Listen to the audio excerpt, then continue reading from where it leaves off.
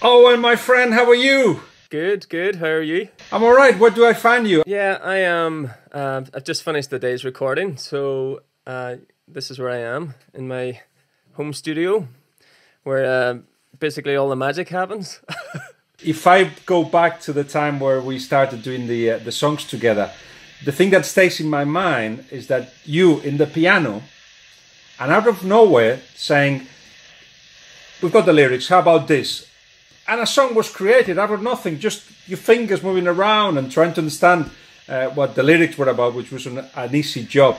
Uh, you still get the same buzz when when when music comes out from your fingers and from your mind. Yeah, the, the way that the way that we started working on the production together, or the way that I started working on it, um, was very minimal. It was literally sitting at a piano, um, with my phone recording the audio, and I would have some ideas. I would have some inspiration based on the lyrics that you'd sent me, and I just pressed record on the phone and played a couple of bars, sang maybe what a verse would sound like, and then I just sent it. I was able to text it to you. It was so simple.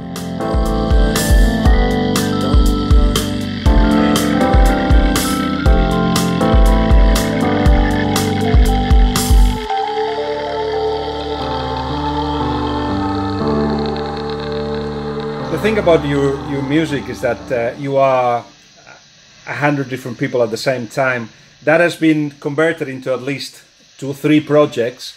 So why don't we go through all of them? How is Best Boy Grip? Is he all right? Best Boy Grip's great. Um, I actually performed as Best Boy Grip just last week. Um, I should explain Best Boy Grip is basically the initial project that I began with maybe five years ago.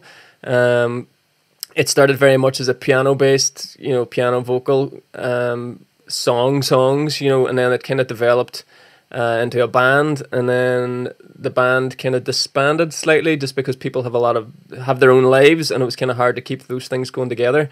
And it then became an, back into a solo project again, and turned electronic, uh, quite unusual. Um, basically, its goal was to be played as well as the great people locally who play stuff. Uh, it's always aimed at Six Music. So any of your subscribers, if they if they listen to BBC Six Music, um, maybe they've already heard some stuff because um, a lot of stuff's played by, you know, Steve Lamacq, uh, Gideon Coe, Lauren Laverne. You know, there's Tom Robinson has been a fantastic supporter right from the start.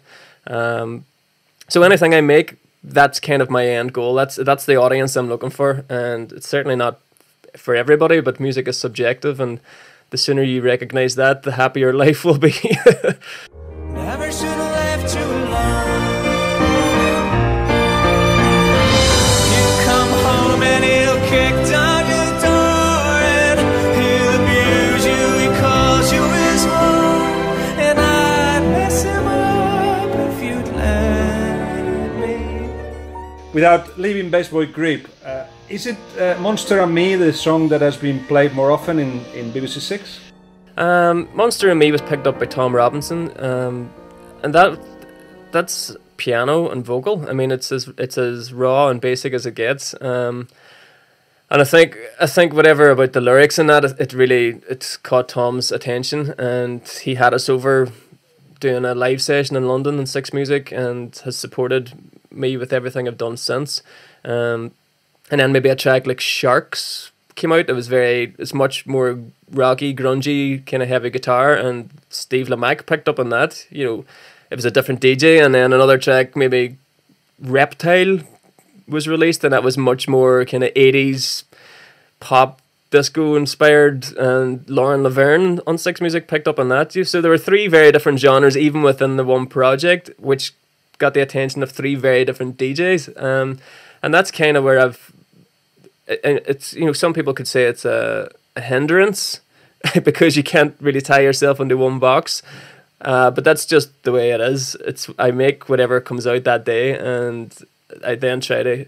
I have the problem of what do I do with it once it's been created. Um, I don't worry about that at the start. I just make whatever comes out, and it was um, between Monster and me and Sharks that uh, that we worked together, and as I told you many times, is one of the creative wise is one of the most exciting things I've ever done. Uh, I'm not sure where it came out, and I'm not sure what people think of it, but certainly it's something that I had a lot of fun with.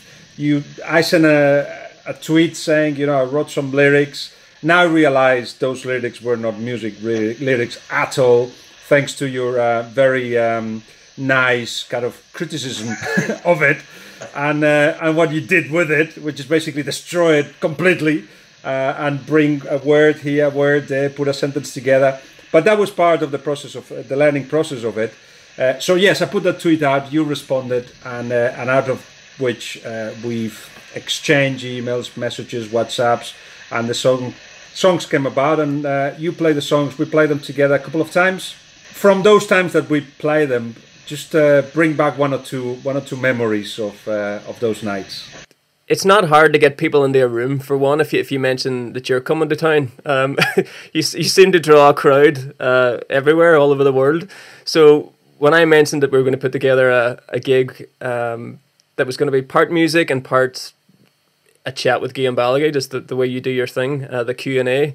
Um, I found that fascinating. By the way, every single person in that room in, in the two gigs that we did together was just hanging on every word you're saying and, and they get some insight into some stories that they may not read in the papers, you know, and you know I don't know, just you hear more about the characters of certain footballers and managers and I would suggest if anyone hasn't gone and thought about going to one of these, I would say go. It's it's uh, it always brings the house down. Um, um, and then, of course, I had the terrifying task of trying to play some music at one of these gigs, um, which, well, two of them. We did one in Liverpool, um, home of the Beatles, in the cavern, actually. In the uh, cavern. The...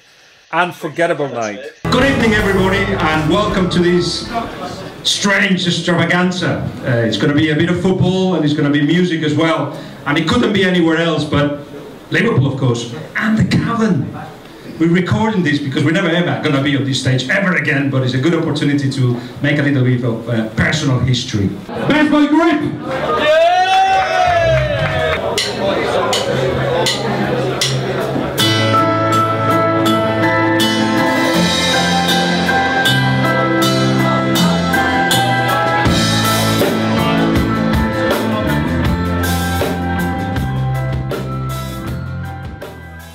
Mendieta was DJing, isn't that right? That's right. That's right. which, which, he was at the Cavern. Uh, we had King and Skulls, which is another folk band in, from Liverpool that uh, uh, they did right. a completely different process with the with the lyrics and sent them. They actually sang them all, all of them. So they're very long songs with a lot of lyrics in it. Uh, and then uh, it was it was you, and then as you said, there was a little bit of a chat with uh, Gaizka Mendieta, and, uh, and then Mendieta DJ at the end. Interestingly enough um, they stayed until you finish, uh, but they didn't. Most of the people didn't stay for Mendieta to DJ, and it was the, the fun part of it. don't move your hand. don't move your hand. don't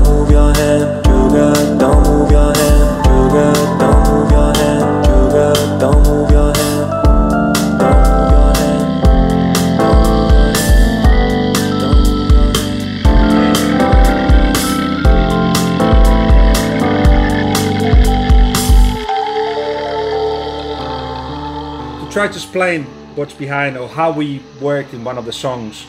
Uh, let's say because of you, for instance. Uh, that was one again where uh, there was a long list of words that were sent to you. Uh, you cut it down. You chose words. Uh, you chose not not so much words, perhaps sentences of it, and then uh, you tried to leave.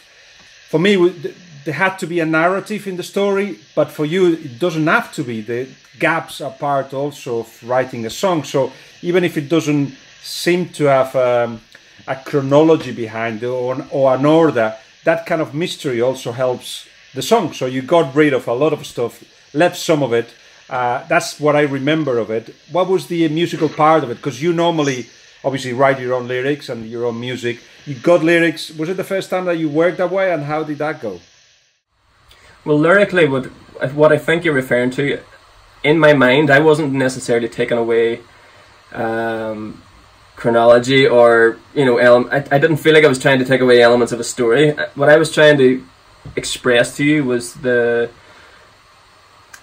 with songs it's not necessarily with lyrics it's not necessarily like listing facts it's not necessarily so we'll go to this room, we'll open this door, then we'll go and see what's inside this door, then we'll talk to the person that's on the inside of that door.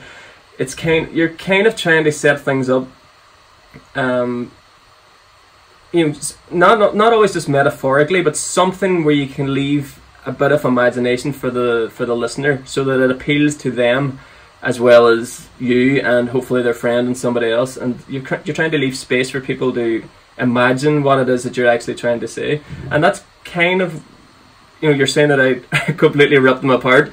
I I felt I I what you gave me was excellent and it was great to work with. And I think once I kind of once we had that discussion um, because songwriting is very different from being an author.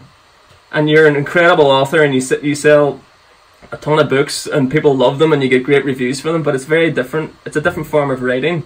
And I think that was part of the thing that we enjoyed most was kind of just sharing me trying to get that across without being um, without being disrespectful in any way to, to anything to anything that you gave. Um, it was basically just trying to get get you to understand that, and you you got it you got it right from the start.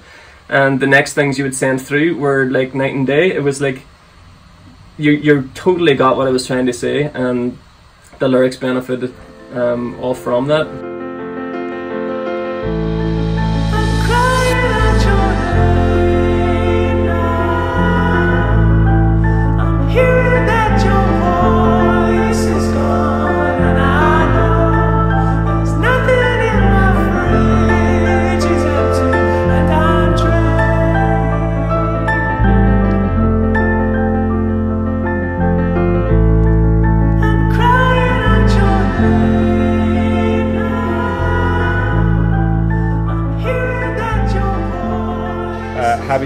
Styles in your head transformed into songs.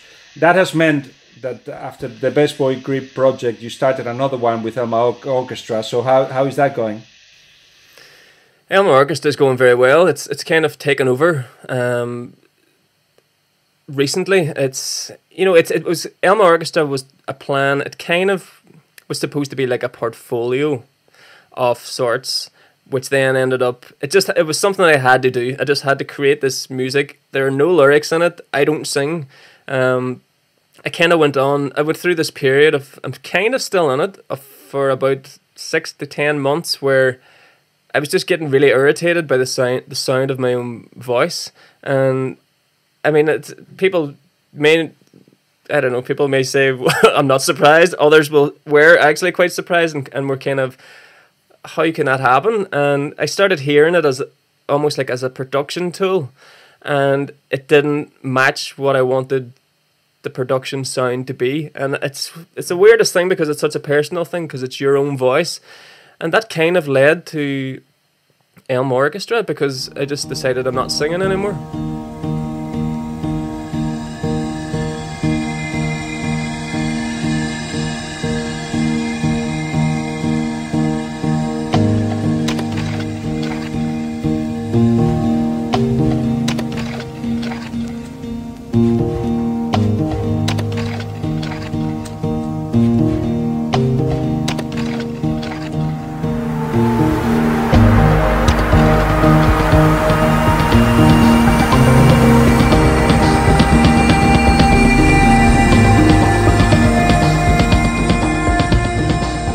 Elma Orkestra's led to other work, BBC documentaries, and um, I've also discovered DJs on even on BBC Six Music and other ones like uh, like Stephen Macaulay um, on BBC as well, as BBC Soundscapes, who will play this material. It's stuff that you wouldn't imagine that you would sit down and listen to. It's not. I wouldn't call it radio friendly. It's far from it. But when you start making this stuff, you realize that there's an audience there for a lot of types of music, and there's a huge audience for the kind of stuff that I'm doing with Elma Orkestra, and I was surprised.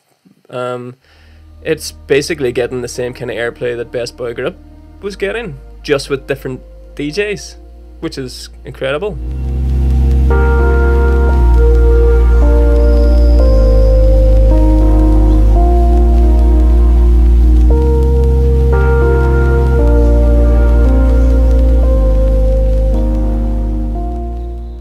Recommend everybody to, uh, to have a look, to listen with a with an open mind because, as you say, uh, some of it is uh, radio friendly, call it like that. Some of it isn't, and that's the fascinating thing about it because uh, as we've been friends and, and talking about music, I have known that uh, to get into the industry is harder, much harder than than people think, and there's of course a way of getting into the music uh, industry, which is you know X Factor way, if you like, uh, and then there is the way that you do in it, and you are fighting uh, against the tide a lot of the time, and you're trying to um, still enjoy what you do and be creative in the way you do things, but of course be commercially uh, viable too, because you want to live on this. The best way for you to learn this industry is to try and do almost as well as much as you possibly can by yourself. So all all the production is done by me, all the songwriting is done by me, um, all the music videos are done by me, all the, the promotion is done by me, the marketing, the PR, the radio pushing, uh, the looking for gigs and things. It's all it's always just been done by me, and some may say that that has hindered progression in some ways. Um, it possibly it has. You know, if you hand over to, to someone whose job is only to get you gigs every single day, you'll absolutely be playing thirty days a month. You know, um, whereas if you try to do it yourself, you have to, it feels like an admin day. You know, it feels like I have to go and be bothered to email these people when all I want to do is make music. So certainly, I think it could have held me back in some ways, but it's made me understand the industry much more. And I mean, you briefly touched on the likes of X Factor and that. It's absolutely all about entertainment and TV with that. It's very, very, very little to do with the music no matter what people think. They may hear a vocal on it and they may think, oh, that's fantastic, I love that person. And some will go on and have some careers, but the vast majority of them will go back to doing the pub gigs and trying to shake the fact that they were on X Factor from their shoulders and from their everything, their every being. It can become a complete hindrance to a lot of people. Um, I'm glad you're taking the, the hard route. Uh, it's it is at the end the most pleasing one, of course uh, even though you have to you, you cannot do everything though. uh, you as as you say, you're going to allow others to uh, take some of that work off. But I do love the videos that you do, uh, linked to the uh, to the songs. Uh, and in fact, I'm going to ask you for a little favor. Uh, in this YouTube channel that we're trying to grow, this music. It has to be music at the, at the beginning of videos, at the end as well, maybe in the middle. Can I use some of your music? Absolutely, of course. Brilliant. um, the last time we were talking, we brief. The last time we spoke on the phone, we briefly, you briefly mentioned this, um, and my answer still stands. Of course, um, I love I love your channel uh, since it started up. Primarily, I was watching it during the World Cup. Um, it was just fascinating. Uh, me and Dara, my son, we just sat and watched and having the insight of somebody who's just so knowledgeable. Um, and it, the real football football friends of mine have always said that they're just huge fans of yours. Um, I openly told you the first time we met that I'm not necessarily a football guy. Um, since, since my fun or sorry, since my son was born, I've gone back to watching a lot more. Um, he's a big Barca fan, and he plays with a team here called TriStar, and he loves it, and he's very talented, and it's got me into watching more. But it's now made me understand why you're so good at your analysis and, and whatever else. So absolutely anything that can help this channel, I will that'd give be, to you. That'd be brilliant. I'll, I'll, take I'll take that for, for certain. Thank you very much for, for your words. In about I'd say six months time, if not earlier, you're gonna say like, these are the guys that we saw at the Cavern. The super talented, super intelligent and charming best boy grip. Thank you very much. Thank you, Thank you very much.